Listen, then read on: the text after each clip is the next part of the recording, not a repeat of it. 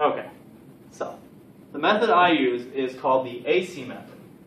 And I think it's the best way to do it because it works for all polynomials and not just certain types. Because there is a trick, and if you use the trick every time, you're going to get it wrong sometimes.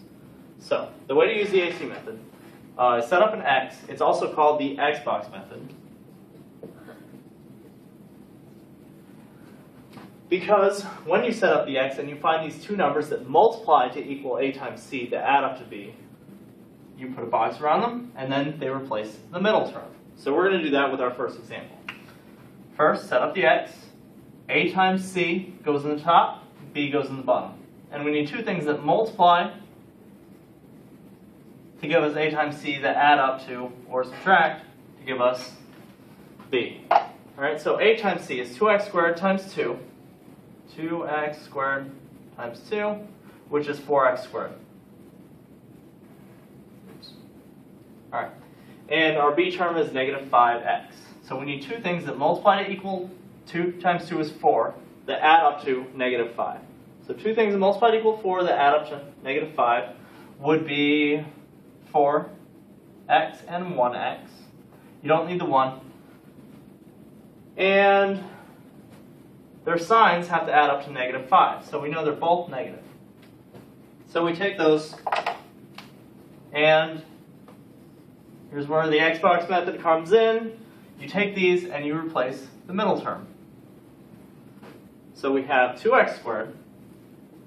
First term stays the same. Negative 5x becomes negative 4x minus x. It does not matter what order you put these into the equation either. You'll still get the right answer. Plus 2. 2 stays the same because we're not changing that. We're only changing the middle term. So now we use factor by grouping. So we group the first two and group the last two. Then we look at what the first two have in common. All right. So we could take out a 2 out of both of these, and we could take out an x, because there's an x in both.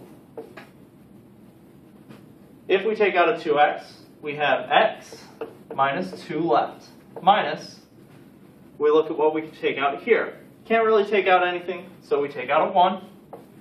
And we know this parenthesis and this parenthesis have to be the same. So if we take out a 1 out of here, this is going to give us x minus 2 as well. All right, and then the last step of factor by grouping. Everything on the inside of the parentheses goes in 1, and everything on the outside, 2x minus 1, will go in the other. And that is how you factor using the AC method. All right. So our next two examples, still using the AC method, we need to set up our x, so we can use the Xbox method or the AC method, whatever you prefer to call it. A times C in the top, B goes in the bottom, two things that multiply to equal A times C that add up to B. Well, A times C is A times C is x squared times 8, so 8x squared, that add up to negative 6, x so what two things multiplied equal 8 that add up to negative 6? Well, only a few things multiplied equal 8. If you think of the factors, we have 2 times 4 and 8 times 1. 8 and 1 will never add up to 6. So it's definitely not that one. So we're definitely using 2x and 4x. And for them to add up to negative 6, they both have to be negative. There's always going to be only one single set that multiplies to give you this number, adds up to this number. So we take these, and they replace our middle term, negative 6x. So we have x squared minus 2x minus 4x plus 8. And like I said, it doesn't matter which order you put these in. You could have wrote minus 4x minus 2x. Then you factor by grouping. So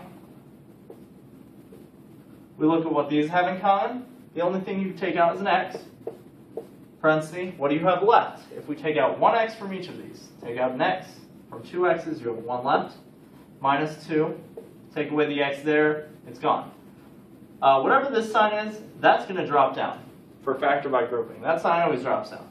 So minus 4x and 8, 4 goes into both of these. And you want to take out the biggest thing you can. Um, and then if we divide both of these by negative 4, since we took out the negative as well, it's going to be x minus 2. And like I said, if these are not the same, you did something wrong. Okay? So everything on the inside goes in one, everything on the outside goes in the other. So our factored form is x minus 2, x minus 4. Now, the easy way of doing this, when this is just x squared and not a number times x squared, these are going to be your answer, negative 2 and negative 4. It does not always work that way when it looks like something like this. Um, and this is actually supposed to be a 12 here. So make sure you change that. We have 4x squared plus 12x plus 9. All right? So, same thing here. Two things that multiply to give us a times c that add up to b or subtract. But addition is the same as subtraction, so we don't really need to write it. Two things that multiply to equal 4x squared times 9 is 36 x squared that add up to 12. So two things that multiply equal 36. 36 times 1, well, that'll never add up to 12, so we can get rid of that. We have 18 times 2, and you can just keep going through your factors until you find two things that might add up to 12 with negative signs in front of them or not. Um, 6 times 6 will add up to 12. So that's what we're using, 6x and 6x. And this is positive, and this is positive. 6 times 6 is positive 36. 6 plus 6 is 12. Perfect. So these replace our middle term. So we have 4x squared, does not change, plus 6x, plus 6x, plus 9, and then factor by grouping. So we look at our first two and our last two. Two things that multiply to equal, uh, I'm sorry, two things that go into 4 and 6 are just 2. And we have an x squared and an x, so we can take out an x. Just factoring out the greatest common factor out of the first two. If we take out a 2x, 4 divided by 2 is 2. x squared, take away 1x, leaves us with 1x plus. 6 divided by 2 is 3. Took out the x. And if you distribute this, you should get back to here.